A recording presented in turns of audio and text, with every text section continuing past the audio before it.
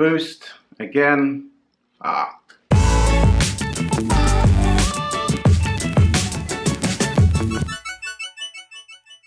What's good YouTube? Ash Bash back again with another video. And I want to start off by saying shout out to the Sneaker Podcast. Uh, you can find it on iTunes and all that. I've uh, been listening to it for about two, two, three months now. And it's just dope. I was randomly searching my phone for a podcast to listen to and I came across the sneaker one. Bunch of guys from Montreal and Canada dope, dope, dope chats about dope sneakers. One of the guys in there, Alex, is a big Adidas head. Obviously, he works at the Adidas store in Montreal, and he's always talking about Adidas kicks, which is probably why I've been getting into EQTs because he's gassed them up so much. I checked them out more, and I've liked them. And this pair right here is a pair that he mentioned that I just totally missed it when they come out on release, and finally got it in my hands. So enough talking. Let's get to the kicks. So boom, comes in a standard Adidas box, where it's a black box, and not much on that side. What does it say for colorway? Adidas don't say colorway for some reason.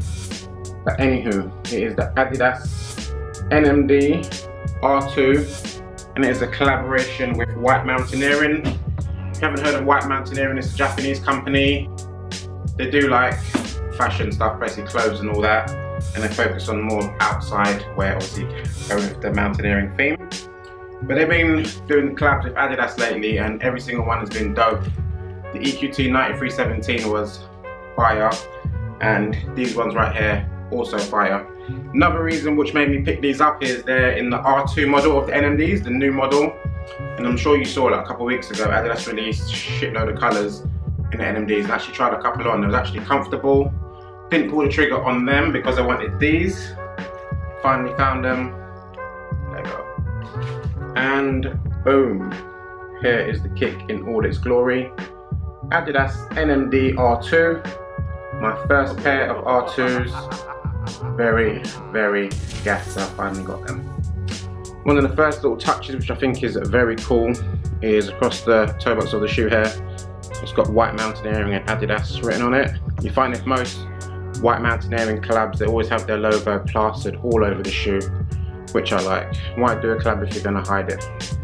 One of the things that separates the NMD R1 from the R2 is you usually have a big block here, here and here on the regular R1s, whereas as you can see it's clean on this side, except for a couple little lines there, and then you've got this big massive block on the inside there, which is pretty sweet.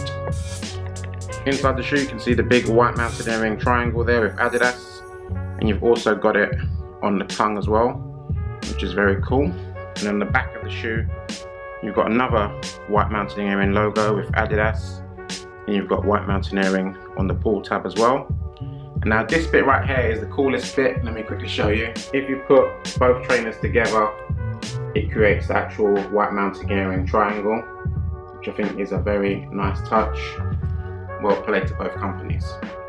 So yeah, these kicks are super fire. As I was saying, they released a bunch of R2s a couple weeks ago. Quite a few dope ones in that. But I didn't want to pull the trigger because I wanted to wait for these as I knew I liked them. So once I found them, went for it straight away. Enough waffling, get to the on foot, let go. You remember me. I'll make sure you uh. remember Climb new heights and I break new grounds. Got a new crib and you can't come round. This year gonna big me up. This year no one's gonna hold me down. Yeah, I'm the shit, to my. I don't wear snapbacks, y'all wear crowns. Price is rich if I wasn't this blick. Price is big if I wasn't this proud. Yeah, eight years sitting on top. Yeah, I've been there, done that, had that what? Before I did rap, had two, two jobs. Hip hop gram and then I went pop. Trade your life for my life, let's swap. Go clean my dad's on with. And we're back. So yeah, with this shoe, I actually went for a UK 11 in regular NMD prime knits, I wear a UK 10.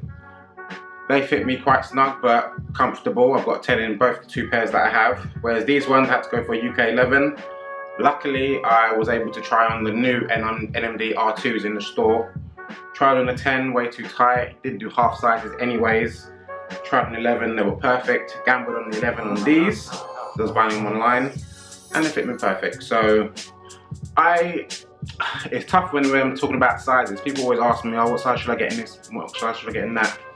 but I don't know if it's my feet are weird or how I like my stuff fitting, but certain things just don't work for me. Like Ultra Boost 3.0s, I have to go up like a whole size, where some people, they go down half a size or whole size, so I can't work it out.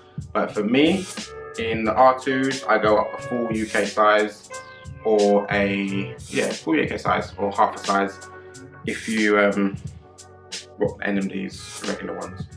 But anywho, enough waffling. These are fire, very gas have got them.